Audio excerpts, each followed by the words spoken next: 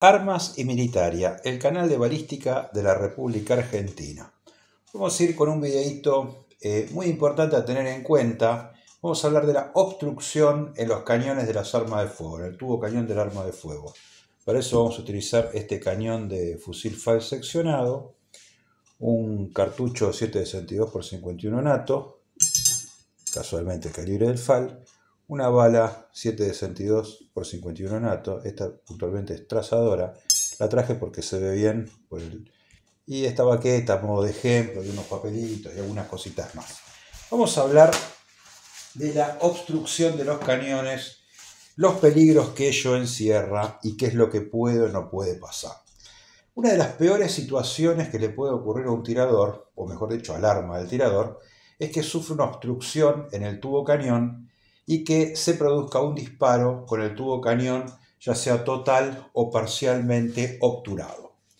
Una de las obstrucciones más comunes se da cuando por utilizar eh, cartuchería en mal estado, munición en mal estado, eh, el proyectil queda a mitad camino dentro del tubo cañón. Puede quedar eh, cerca de la boca, puede quedar en el centro o bien cerca de la recámara.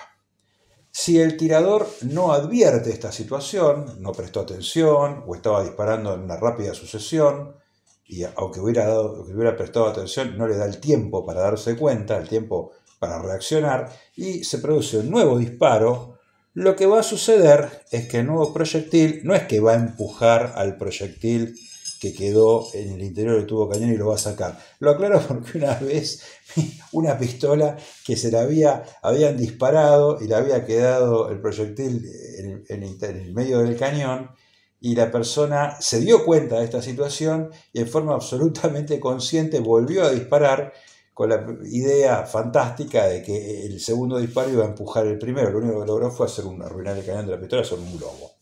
Bueno, exactamente eso es lo que sucede. Si uno vuelve a disparar, se produce un ensanchamiento, un globo, y el cañón queda arruinado, por lo menos parcialmente arruinado. A veces se lo puede, por ahí en armas cortas, se lo puede llegar a acomodar para que siga funcionando, pero quedó un globo, hay una pérdida catastrófica de precisión, pérdida de velocidad inicial porque se produce un adelantamiento de los gases por delante del proyectil, se incrementa el viento balístico, en fin, bueno, queda el cañón técnicamente arruinado. Así que aparte que puede ser peligroso porque el cañón se puede llegar a rajar y provocar una, llamarada, una salida de una llama por uno de los costados. Puede llegar a suceder. Así que ojo con esto. Otra de las cosas que sí puede llegar a suceder también y que es bastante más común de lo que se imaginan es que quede una baqueta en el interior del cañón. Sobre todo ocurre con las baquetas que como estas se atornillan al cuerpo de la baqueta y se baquetea. A veces se desprende, uno está pensando en otra cosa, limpiando el arma, hablando con alguien, lo llaman por teléfono, se olvida el cepillo adentro del tubo cañón, confiado después guarda el arma, al mes, mes y medio, o seis o siete meses saca el fusil o la pistola o lo que fuera para ir al polígono a tirar, o Dios quiera que no sea una situación que requiera el arma para defensa, y lo que sucede es que el proyectil impacta contra la baqueta y el cañón se destruye completamente igual que si hubiera habido otro proyectil. Estas cosas, aunque parezca mentira, suceden. No es algo raro. Estas son las obstrucciones totales. Después tenemos las obstrucciones parciales que también dañan el tubo cañón. Son tal vez menos graves, pero no por eso no dejan el arma en general bastante deteriorada, por lo menos en, en cuanto a su precisión restos de, trapos, restos de papel de la limpieza del arma, son suficientes para destruir o hacer un globo en el cañón. Eh, grasa, pedazos de grasa. A veces hay gente que deja el arma, no la va a usar, entonces la deja con exceso de lubricante. Se hace un que la grasa, sobre todo la grasa, se solidifica, pega el proyectil contra eso, destruye el arma. Otra de las cuestiones bastante comunes le pasa a muchos cazadores le pasa increíblemente a muchos policías con sus escopetas y a muchos cazadores con escopetas. Es muy común la escopeta, pero en un fusil también puede suceder. Y en un fusil destruiría completamente la precisión del arma. Es cuando por alguna razón el cañón es apoyado así y se van a cazar y se introduce tierra o pasto o cosas por el estilo, generalmente tierra, en, la, primera sección del tubo cañón. O sea, ingresa tierra adentro del tubo cañón. Eh, ¿Por qué digo que pasa ahí? Porque yo he visto policías que tienen la costumbre de apoyar el cañón de la escopeta, queda un tapón de barro, después se solidifica y el día que disparan, ¡pum!, al demonio la boca de la escopeta. Cazadores también han tenido ese problema, tanto con escopetas como con fusiles. Hay que entender que el cazador por ahí se tropieza, se cae, se le mete barro adentro del cañón, no se da cuenta y eso produce la pérdida del tubo al momento del disparo porque en las escopetas se abre como una flor y en los fusiles generalmente no se abre pero se daña la boca, la corona y el fusil queda con una pérdida catastrófica de precisión. Una solución puede llegar a ser hasta tener que cortar una o más eh, pulgadas de longitud de cañón, a cortar el cañón si es que nos da, como para poder lograr salvar el fusil. Así que no es un tema menor. Eh, el tema del barro. Otra cosa que se puede llegar a que puede llegar a ocurrir que dañe sustancialmente el cañón es por acumulación de residuos de disparo. Eh, puntualmente a qué me refiero? Los que tiran con recarga de plomo que deja excesivo residuo, sobre todo obviamente en las armas cortas. Como ustedes saben, eh, si usted va a tirar recarga de plomo, es conveniente primero utilizar la munición de tipo encamisado, full metal, y después utilizar toda la que se quiera que sea eh, de tipo de plomo, que sea de plomo, que tenga características que pueda llegar a emplomar el cañón.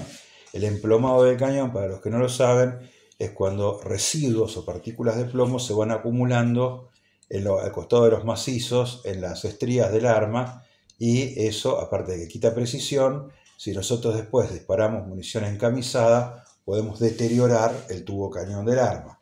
Obviamente, si usted tira, hay que ver qué calidad, si usted tira una munición recarga linotipo, que tiene algún tipo de tratamiento, ya sea con pintura eh, poliuretánica o epoxi o, un cobreo electrolítico de buena calidad, probablemente y, la, munición de plomo, de plomo linotipo, como dije, probablemente no, no emplome mucho.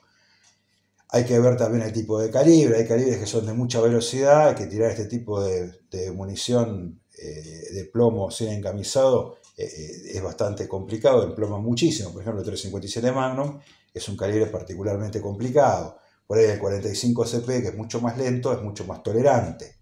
Pero bueno, la realidad es que van acumulándose restos de plomo dentro del tubo cañón y si después nosotros tiramos un, tiro, la bala es completamente encamisada, full metal jacket, ese plomo de alguna manera produce un aumento de la presión, que ya de por sí es malo, y puede provocar una deformación o un daño en el tubo cañón. Por supuesto va a ser mucho menor que si nos olvidamos un pedazo de baqueta pero esa deformación también está y hay que tenerla muy, muy en cuenta. Eh, aceites y lubricantes. Bueno, si nosotros le ponemos un aceite o un lubricante muy pesado, hace cuerpo adentro del tubo cañón y puede provocar un pico de presión y puede provocar un daño en el tubo cañón. Aceite liviano, como por ejemplo el WD-40, no. Pero si usted le echa algún tipo de aceite pesado, sobre todo para preservación, y puede llegar a dañar sustancialmente el arma. Entonces, básicamente lo que estamos viendo es lo que se requiere es tener cuidado y precaución. Hay veces que es inevitable, por ejemplo, las armas de fuego automático, si falla un disparo y queda atrancado en mitad del tubo cañón y después se produce un nuevo disparo, obviamente el arma se va a deteriorar y eso no habría cómo evitarlo. Cosas que tenemos que tener en cuenta. Si vamos a disparar munición muy vieja, tengamos cuidado, seamos eh, prestemos atención a lo que estamos haciendo. Fijémonos los ruidos, prestemos atención al retroceso, por ahí un retroceso mínimo, una, pistola semiautomática que no termina de ciclar completamente y queda la corredera a medio camino. Ojo que son indicadores que por ahí no se produjo la deflagración en forma completa o que lo único que logró accionarse fue nada más que la cápsula fulminante y lo único que logró es mover un poco el proyectil adentro del tubo cañón y no más que eso. Entonces, mucho cuidado con ese tema. Si vamos a, utilizar eh, munición muy vieja, hay que estar atento a esos detalles. Si vamos a utilizar munición de origen desconocido, esas recargas que nos regaló no sé quién, hay que estar atento a esos detalles. Por ahí una carga mínima por debajo del mínimo recomendado puede provocar algún tipo de estos fenómenos. Así que mucho cuidado con eso. Eh, no es un tema menor. Muchachos, destruyen el tubo cañón del arma. ¿eh? Por ahí, en armas comunes, qué sé yo, una Versa TPR, una Browning High Power, una 1911, se puede conseguir un tubo cañón sin mayor problema. Por supuesto hay que pagarlo. Pero si le arruinan el cañón a un fusil, prácticamente se quedan sin fusil. Si destruyen el cañón de un arma, de un revólver, por ejemplo, que es complejo cambiar el cañón, destruyen el cañón de alguna arma clásica. Imagínate si destruyen el cañón, qué sé yo, de una ver un P08, una Luger, de una Mauser C96. Por eso, mucho cuidado. Yo conozco un caso un señor que tirando con una Walter PPK hermosa, 765 eh, eh, Browning, eh, no se dio cuenta que uno de los tiros no salió porque tiraba munición del año de la escarapela, por no decir del año de Ñaupa, y efectuó un segundo disparo y le hizo un globo al cañón. Entonces, bueno, es una lástima, arruinaste una PPK original. Entonces hay que tener, hay que tener cuidado, ¿viste? Y aunque uno diga, bueno, es una TPR que se consigue los repuestos, por ahí hay que salir a buscar un cañón, con todo el engorro que eso significa. Entonces no es un tema menor. Hay que tener cuidado, hay que tener precaución. Siempre asegurarse que el tubo cañón esté limpio. Yo recomiendo siempre que miren el tubo cañón, a menos que sea un arma que están portando permanentemente, siempre miren por el tubo cañón, fíjense. Puede quedar, por ejemplo, pedazos de hilo, pedazos de baqueta, cualquier cosa. Yo he visto una vez, por ejemplo, en una escopeta del 12, también le iban a cargar y cayeron un montón de cosas. Tenía, estaba en una funda de cuero vieja y se desgranó y se metió un montón de basura dentro del tubo cañón. Eh, bueno, es basura que se metió dentro del tubo cañón. Eh, no sé, por ahí con una perdigonada no hubiera pasado nada, pero si disparaban eh, una Brene, una bala o lo que fuera, por ahí dañaba el cañón de la escopeta. No creo, pero podría haber pasado también.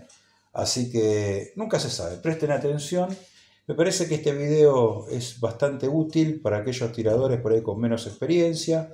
Eh, presten atención, fíjense, ojo con los aceites que usan, no usen aceites demasiado pesados. Si limpia el cañón del arma, después saquen todos los restos de lubricante.